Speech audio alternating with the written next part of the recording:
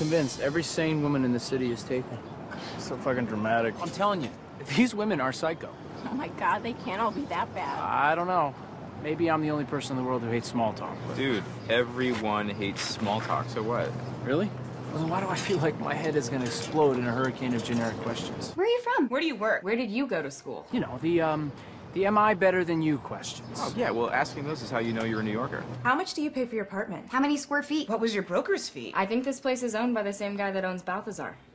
Do you ever take a date there? It's not that bad. I'm sorry, what? What? I, I think it is that bad. Oh, shit. Oh, yeah. Incomplete parties will not be seated. Okay, okay, Charlie. You know what? I'm your friend. I love you. We all love you. But do you know what your problem is? You. Excuse me? Excuse you. Look, well, you're certainly not the first guy to think he's some big deal for getting a lot of dates in this town. That doesn't mean that you have any idea what you're doing when you're out with these women. Thank you. Look, any guy with an American Express card and a pulse can get a date. There's like half a million more single women than men. It's just that when you're out on these dates, it takes two to tango. That's all I'm saying. I am starving. Should I check with the hostess? This Just is face crazy. it, okay? We're never getting in. And here's a new thought for you. I am not the problem. You know, I don't even know why I tried.